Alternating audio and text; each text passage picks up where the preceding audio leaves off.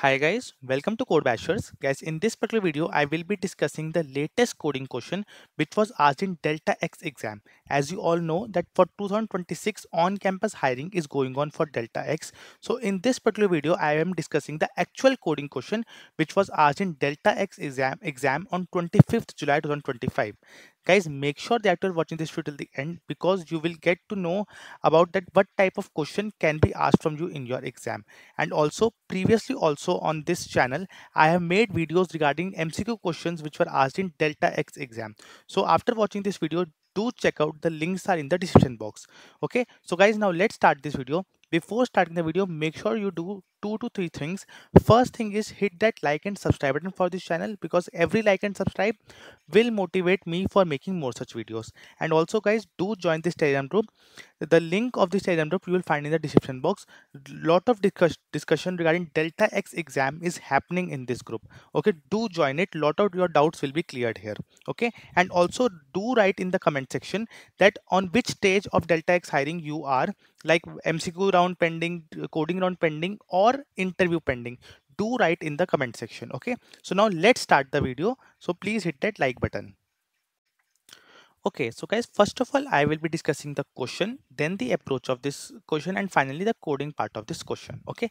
So question here is given an array of non-negative numbers the task is to find the first equilibrium point in the array the equilibrium point in the array is an index such that the sum of elements before that index is the same as the sum of the elements after that index. Return equilibrium index in zero-based indexing.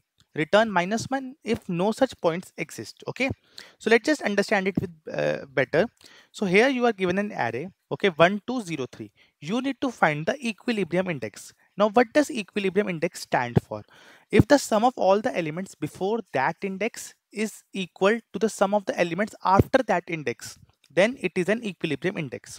Okay? So here the output is 2 that is the second index is the equilibrium index. This is the equilibrium index. Let's see the definition. So sum of the elements before the equilibrium index. So it is 1 plus 2 it is 3 sum of the elements after that equilibrium index you can see 3 so yes before and after are the same. Sum is same. So therefore this this index is the equilibrium index okay? If the equilibrium index is not present return minus one. So let's see the next example. Double one oh one one four times ones. Okay? Now is there any index where the sum of elements before that index is equal to the sum of the elements after that index? So if you will look closely if you will find this index is it equilibrium index? Before this index the sum is 1 after this index the sum is so it is not an equilibrium index. So is it this the equilibrium index? Answer is no because before before it is the sum is 2 and after this is the sum is 1. So it is not an equilibrium index. So it means in, in entire this array there is no equilibrium index. Therefore we have returned minus 1. Let's see with the help of next example. This is the example that is given to you. And output is the third index is the equilibrium index. So this is the equilibrium index third index. So let's see the sum of the elements before this index but it is so minus 7 plus 1 is minus 4 or minus 6 minus 6 plus 5 is minus 1 so before the sum of the elements before this index is minus 1 let's see after the sum of the elements after this index. So it is minus 4 plus 3 minus 1 plus 0 minus 1 so yeah, so sum of the elements before this index is also minus 1. The sum of the elements after this index is also minus 1. So therefore this third index is the equilibrium index and we have returned it as the output. I hope now the question is clear to you. Now let's just quickly see the approach of this question. Okay, so now let's just discuss the approach of this question. So we have taken this array as input. Now what we'll be doing, we'll be taking two new arrays okay? One will be used for storing the left sum and one array will be used to store the right sum. Let's just see how this left sum and right sum array will behave. So we have taken two variables which will store sum of left and next variable is which will store sum of right. Now let's first fill this left array and then we'll fill in the right right array. So this is the left sum array now I have told you an equilibrium index is if the sum on the left side of its element is equal to the sum of its right side element. So if we have if we are at a current element, let's suppose we are at this position. So here the sum will be the sum of all the elements to the left of it, not including it. Okay. Try to understand this clearly. If I am at this current position, if I am at this current position, so the left array will contain the sum of the elements towards the left of this element in not include excluding this element so if i start filling this array okay some l is 0 some r is 0 so we are at the when we are filling this left sum array so we are at this position okay so what is the sum of the elements before this index sum of the elements before this index is 0 right now we are coming at the next index. This is the first index. Now what is the sum of the elements before it? What is the sum of the elements before this index excluding this element? So it will be sum 0 plus the previous one that is minus 7. Okay. Sum 0 minus 7. So it will be minus 7. Okay. It will be, so here it will be minus 7. Now again we are moving towards this index. So what is the sum sum of all the elements before it. So we will do sum L plus ARR of minus 1. So ARR of minus 1 is 1. So minus 7 plus 1 equivalent to minus 6. So here it will come minus 6. Now we will move ahead towards this element. What is the sum of all the elements towards the left of it? It will be sum of L that is minus 6. Sum of L that is minus 6 plus the previous element minus 6 plus 5 that is equivalent to minus 1. So now here the value will be minus 1 okay minus 1 similarly we will move towards this index what is the sum of the elements left of it. So it will be sum of l plus the previous element that is 2 so it will be 1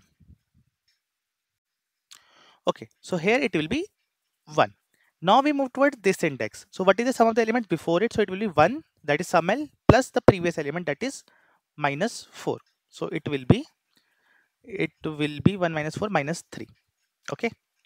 So next is it is minus 3 now we'll move towards the next element that is this. So 0 so it will be minus 3 plus 3 equivalent to 0 minus 3 plus 3 equivalent to 0 yeah. So it will be here. It will be 0 so it means that all the elements before 0 the sum is the sum is 0 only. So let's just see. So minus 7 minus 11 and 5 2 7 8 yeah. So all the elements before 0 is 0 only. So this is how we have filled out the left array similarly we will be fill out, filling out the next array based on the right side.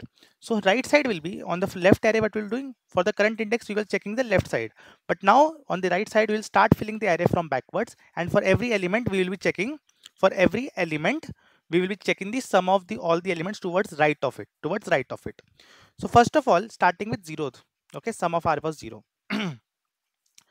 okay so what is the sum of the elements towards right of it? So 0 does not have any right element so sum will be 0 only.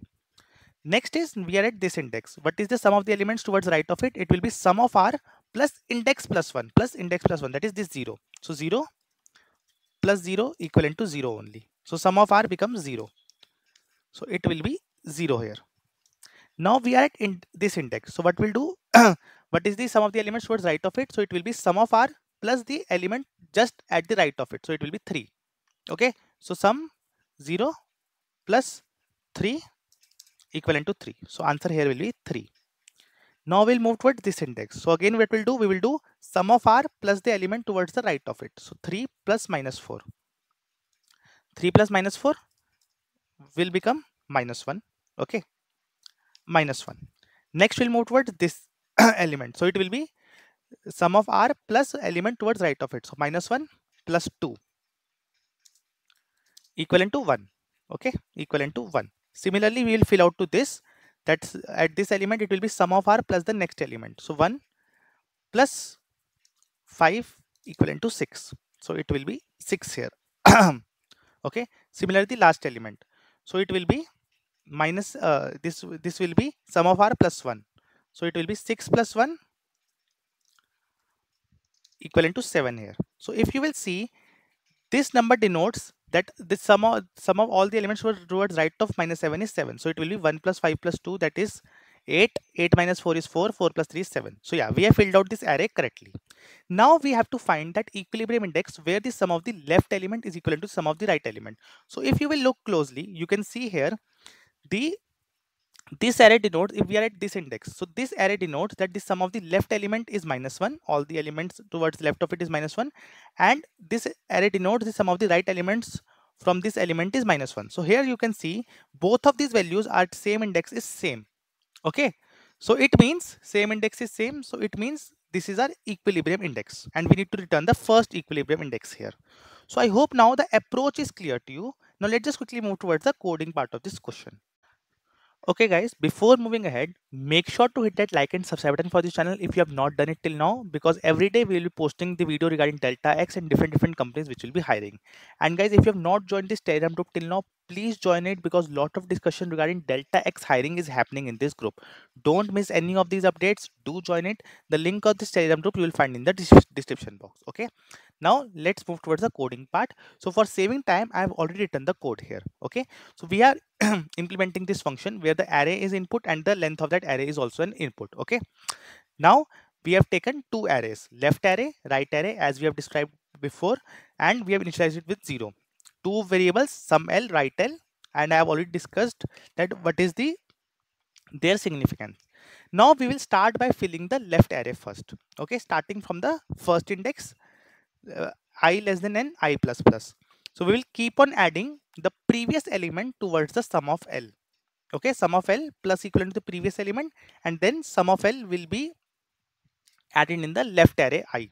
Okay because ith index here denotes the sum of all elements towards the left of that element without including it. So therefore sum of l plus the previous element and then in the left array we are adding that sum of l variable okay so this array we have filled it like this. So this array is already filled. Similarly we will be filling the next array that is the right array. Starting from backwards okay starting from backwards we will do sum of r plus the next element. In sum of l what we'll do we were doing we were adding in sum of l we were adding the previous element but in sum of r we will be adding the next element because we are finding the sum of the all elements towards right of the current element okay? So sum of r equivalent to the adding the next element and then that sum of r is assigned towards the current index of the right element right array. I hope these two loops are over. So after these two loops are over we will be getting these two arrays just like this. Okay? I hope it's clear. Now we need to find the equilibrium index. How we'll find the equilibrium index? We will iterate over the array and at a position where left of i is double equivalent to right of i that is at a position when left of i is double equivalent to right of i, it means that this is an equilibrium index and we will simply be returning that index. So if this condition is successful, we are simply returning that index. Otherwise, if the loop is over and we are not able to find any such condition, then we are returning minus 1 that there is does not exist any equilibrium index. I hope now the code is clear to you. Let's just see with the help of example if it is working fine or not. So this is the input array and let me just run it. The answer should come out to be 3 because 3 index is the equilibrium index. So 3 is coming as answer. Let's just change the input 4 1 1 1 1 and the answer here should come out to be minus 1 because there does not exist any equilibrium index here. So answer is coming as minus 1. So I hope this particular question and code is clear to you okay and this particular code will pass all the test cases that will be given to you if you want more such videos do write in the comment section and do hit that like and subscribe button for this channel because every like and subscribe will motivate me for making more such videos. And do join this telegram group. It's dedicated for 2025 batch and 2026 batch students. The link you can find in the description box. Thank you for watching this video